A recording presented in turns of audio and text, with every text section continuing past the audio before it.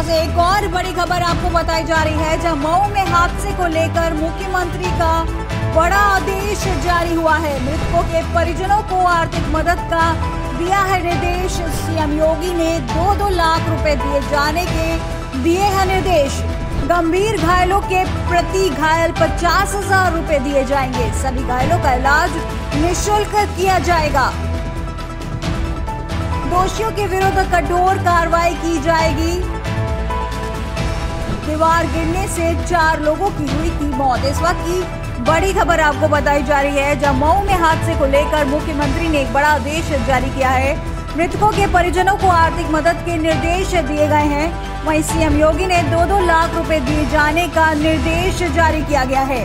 गंभीर घायलों को प्रति घायल पचास हज़ार रूपए दिए जाने का निर्देश दिया गया। सभी घायलों का इलाज निशुल्क किया जाए।